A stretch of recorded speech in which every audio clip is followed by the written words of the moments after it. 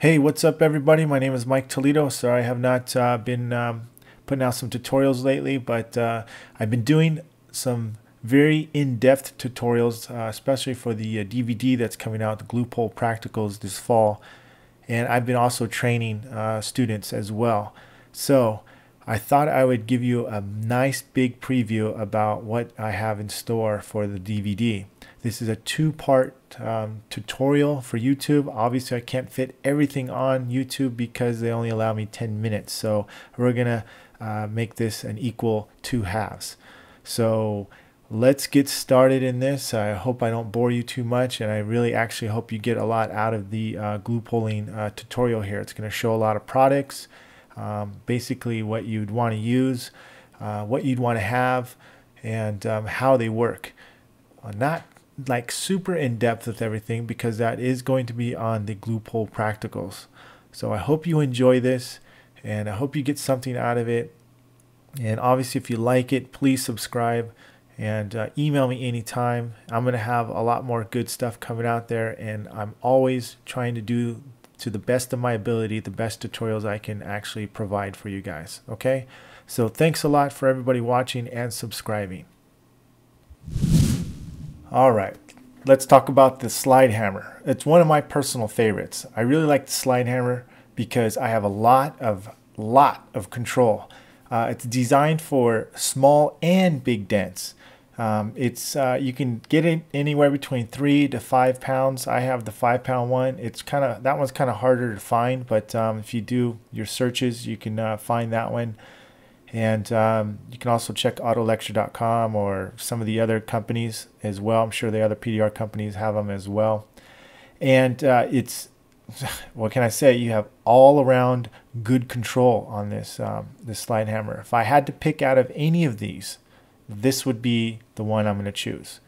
Um, I can use it pretty much on everything. I can use it the rails, the sides, uh, pretty much everything. So that tool I really highly recommend. The slide hammer, you, you can really pull some good big dents out. You can pull small dents out with. You have a lot of control with it. And so let me uh, just show you a little bit of a demo here. Uh, we've got it set up. You can see the tabs are set up and uh, you see how good, how much force you need to actually pull a lot of that center out. Um, it really gives you a lot of, lot of control. That's why you need a slide hammer to really pull some deeper dents out get a lot of tug, you know, and uh, a lot of leverage. And especially if you want to pull a big portion out of the dent, as you see right here. Really good, and even for the small dents, watch how you get a nice pop, and um, you know, and you want it nice and high, have a little bit of control, and there you go. You set up your dent. It works out really great. All right, up next is the mini lifter. I know a lot of hail techs use these a lot. I personally use them a lot as well. Um, what can I say? It's great. It's designed for smaller dents and hail damage. Really light and easy to store. Quick, easy setup. Um, best results are when you um, squeeze it fast and hard. Basically make a quick snap like you, you'll see right here.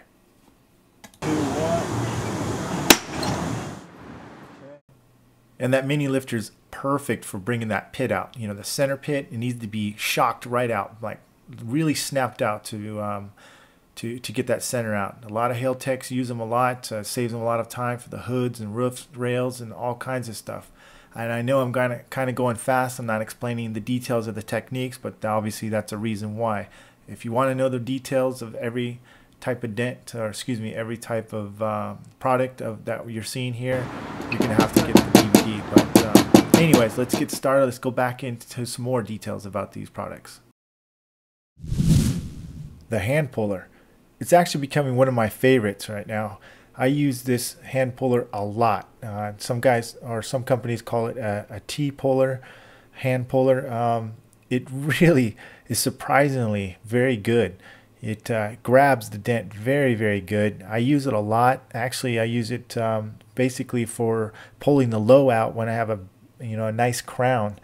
And that's a little bit of the details uh, I can share with you but it's a very great tool. I mean I whipped that tool out really quick really fast. It's really really a great tool. It's uh, I'll be honest with you um, you'll be very surprised about how well you can snap dents out with that tool, uh, how much control you have, and you can even pull out big dents, a big lion's share of the dent. So I really recommend that tool. Um, between all the tools, I, will be honest with you, I might get, I, if I was to, to pick any tools, I'd recommend the slide hammer and that hand puller. The mini lifter is great. I like I said, it's not going to hurt if you're a professional and you want all three of them. I really highly recommend. You know, the more tools, usually the better, and the more obviously the efficient you're going to become. Um, so it's a big benefit to have more than one. One, you know, I, I carry all three of them, so it wouldn't hurt for you too as well. All right, that wraps it up for part one. Go ahead and uh, click on the part two, and uh, we'll get you uh, settled in for the second part. So thanks for watching, and please subscribe if you like it. Thank you very much.